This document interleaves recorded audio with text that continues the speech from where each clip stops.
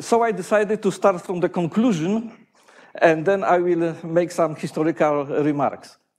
Uh, so this is the subjective that is uh, strongly personally biased to the list for the post-Newtonian two-body problem. Uh, it is clear that it is very important, to compute force post-Newtonian uh, gravitational wave luminosity for two-point mass systems, because then it will be possible to construct more accurate templates, to be more precise, four and a half post-Newtonian accurate templates for inspiralling compact binaries, and then these templates can be used in an analysis of data collected by gravitational wave uh, detectors. From the same reason, it is important to compute within the post-Newtonian framework uh, high order uh, tidal corrections to the dynamics of uh, binaries made of uh, at least one neutron star. Uh, by the high order, I mean at least first post-Newtonian order corrections to the leading order tidal effects. This is important because uh, it will improve the extraction of information related to the neutron star matter equation of states from observations of gravitational waves. The next two issues are less obvious and more technical, I would say, but I think that they are quite important. The first one is related with the obvious fact that high-order perturbative solutions of two-body problem are uh, complicated. They are complicated both from computational point of view, but also from conceptual point of view. And the history of uh, achieving analytical results is full of mistakes, uh, wrong uh, results, not counting uh, misprints, of course. And therefore, I think it is highly desired to have more than one independent derivation of any analytical result achieved. So in this spirit, for example, it would be useful to make independent derivation, for example, within the ADM Hamiltonian approach uh, of high order gravitational wave lum luminosities for two-point mass systems. As far as I know, the third post-Newtonian luminosity was computed only once. Am I right? Yes. Also, all successful uh, computation of four post-Newtonian equations of motion were done uh, for uh, binary members modeled as point particles. That is, Dirac delta distribution were used in uh, energy moment tensor. It would be nice to have uh, some other uh, um, derivation made of some extended body models. And the last issue is related for the previous one because uh, uh, usage of Dirac delta sources uh, obviously leads to ultraviolet UV divergences. And because general relativity is a purely classical theory, one could expect that all regularization issues caused by this should be uh, removable purely in three-dimensional space. But this is not the case. It seems that the only uh, tool to resolve UV dimensional uh, uh, dimensional divergences is dimensional regularization. There were attempts to improve Schwartz distribution theory because this is quite obvious that standard distribution theory is not well suited to use it in highly nonlinear theory like general relativity. For example, Luc Blanchet and Guillaume Faye developed the so-called extended Hadamard regularization purely in three dimensions. It was when they tried to compute uh, three PN equations of motion. This generalization was not totally successful because finally it was not possible to use them to obtain the unique equations of motion. Uh, but this is the bad news, but the good, the good news is, is that finally they obtained the result which was almost identical with the result obtained using dimensional regularization. The difference was in one ambiguity parameter.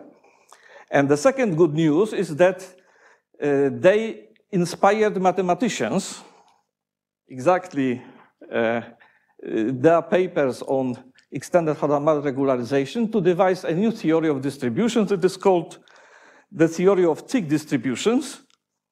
Uh, unfortunately, this theory is still not suitable to use in post-Newtonian equations of motion. But anyway, one can ask the question, is it possible to look for some new extension or modification of the Schwartz distribution theory uh, that would be suitable for three-dimensional regularization? The obvious mm, uh, thing is that then such a theory would simplify a lot higher order post-Newtonian computation because you should remember that, as I already mentioned, answering to the Professor Buonanno question, that uh, up to fourth post-Newtonian order, the huge part of the computations is related with the near zone equations of motion. The tight part is relatively simple from the computational point of view, not from the conceptual point of view. Okay, so how much time is left? 10 minutes, not bad. Okay, so let's go to some more details. Mm. As we know, the two-body problem can be uh, divided into two sub-problems, the problem of finding equations of motion and the problem of uh, computing gravitational wave luminosities. Equations of motion start from the Newtonian level. All uh, next levels are completely worked out up to the fourth post-Newtonian level. And here you have luminosities. You see that there is a shift between the two lines because the first radiative reaction effects can be seen at the level of equations of motion at two and a half pn level. It means that knowing this, you can just from the equations of motion derive the leading order luminosity, textbook formula uh, for um, luminosity of two-body systems. As I said, uh, there are UV divergences when uh, one uses point masses uh, modeled by Dirac delta distributions, and I will concentrate on these UV divergences. But before this, several historical remarks. Uh, two-body problems in post-Newtonian framework began uh, more than 100 years ago. The first correct computation of 1pn equations of motions was by Lorentz and Droste in 1917. Then more than 50 years Later, Damour and Deruelle successfully completed second post-Newtonian equations of motion, and second and a half, in fact. They were inspired by discovery of binary pulsar of Hulse and Taylor. The 3PN and 4PN computations were totally inspired by the needs of gravitational wave astronomy, but it is useful to mention also the three, uh, and a half PN equations of motion. These are radiative equations, which are first post-Newtonian correction to the leading order radiative re uh, reaction equations of motion. Mm, the first serious attempt was, attempt was here done by Bala Iyer and Clifford Will. Uh, they used the known formulae for the fluxes of energy and uh, angular momentum, and they have written the most general formula for the equations of motion, which is compatible with this known fluxes. It was very useful, for example, for checking the later derivations of, of equations of motion.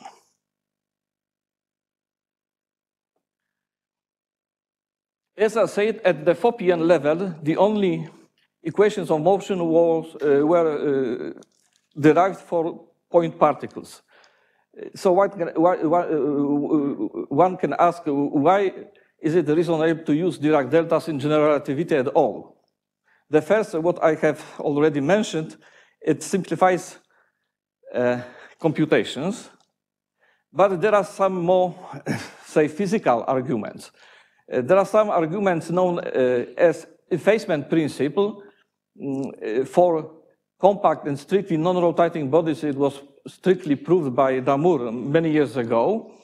Mm, this uh, statement uh, sounds that up to four and a half post-Newtonian order, there is no difference between neutron star equations of motion or black hole equations of motion. It means that there are no trace in the equations of motion of, on any information on the sizes and internal structure of the bodies. And uh, Dirac delta seems to be ideally for this because they introduce into tensor uh, energy momentum tensor only information about the masses and the positions of the, of the sources. But uh, Dirac deltas can do more in general relativity. Uh, we know that quite useful, for example, from numerical relativity point of view, a Brilling solution of time-symmetric two black hole initial value problems, problem. And this solution was originally obtained by uh, studying the vacuum constraint equations of general relativity, but this solution can be easily recovered using the energy momentum tensor with Dirac deltas. And finally, strong a posteriori arguments that uh, dimensional regularization together with using Dirac delta sources finally give unique conservative equations of motion up to the 4pn order and you need gravitational wave luminosities up to 3.5 pn order and uh, more recently also for 4.5 pn order, at least for circular orbits. 3 pn conservative two-body equations of motion were derived independently by three groups using three different formalisms. But what is important is that um, there are also some derivations use, which use, use extended body models. One of them, namely uh, made by Itoh and Futamase, also with some contribution by Asada at the lower orders of approximation, uh, they reach the third post-Newtonian order. This was very important and nice derivation made uh, in, in the 80s by Grishchuk and Kopeikin. They just uh, modeled the interacting bodies as spherical balls made of perfect fluids. More recent uh, derivation of the second post-Newtonian equations of motion was by Pati and Will within developed by them direct integration method, uh, direct integration of the relaxed Einstein equations method. And as I said uh, few times already, there are also three independent derivations of the force post-Newtonian dynamics. Uh, the very recent uh, derivation was done by a group related with effective field theory approach. And this is the excerpts from their recent paper. Uh, they are very optimistic because in the introduction, they conclude that they provide uh, an ambiguity-free and systematic derivation of the renormalized Lagrangian in dimensional regularization all within the confines of the post-Newtonian expansion, which can be naturally extended to all orders. So as I said, this is uh, to some extent answer to your uh, Satya question that they are quite optimistic. I don't know whether uh, Riccardo Sturani is with us. Okay, so you will you will be commented this, I think, in, in, in your yeah. Okay, so but Um, as you know, uh, the most important application is the phasing of, of binary systems. This phasing is done by assuming for circular orbit that this kind of balance equation is fulfilled to any post-Newtonian order. So the time derivatives of the bounding energy is exactly equal to the minus gravitational wave luminosity. And up to 4pn order, all is known. But there are already some results at fifth post-Newtonian order. Here there is a binding energy of the two-body system expressed in terms of the some uh, gauge-independent parameter x, which is related to the angular frequency along circular orbits, and the symmetric mass ratio nu. Nu is equal to m1 times m2 divided by m squared. So it ranges from zero to one fourth. But what is important there is some strange thing in the literature, namely, at each PN order, the highest in nu coefficient uh, has the power which is the number of the uh, PN approximation. So for example, um, at fifth PN order, it will be nu to the, power, to the power of 5. And then uh, by careful analysis, you can check that this term depends only on the terms in the equations of motion which are linear in G or come from the special relativistic uh, contribution. And uh, many years ago, Ledvinka, Schaefer, and Bičák computed closed form ADM Hamiltonian in one post-Minkowskian uh, uh, approximation, and from this one can easily compute this fifth PN order coefficient with this result. And in 2014, Foffa, using effective field theory methods, computed the 1 PM Lagrangian. And as an application, they computed the same coefficient with this result. I have, a few days ago, uh, checked carefully the arXiv and the web pages of the physical review uh, journals, and there is no explanation of this discrepancy. Okay, uh, how much time?